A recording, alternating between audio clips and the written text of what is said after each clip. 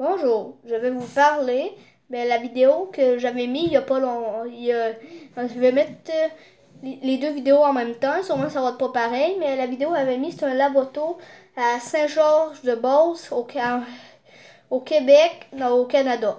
C'est en Amérique du Nord. C'est ça que je voulais vous dire. Ok, bye, abonnez-vous, laissez un like, puis euh, si vous voulez un commentaire, bye.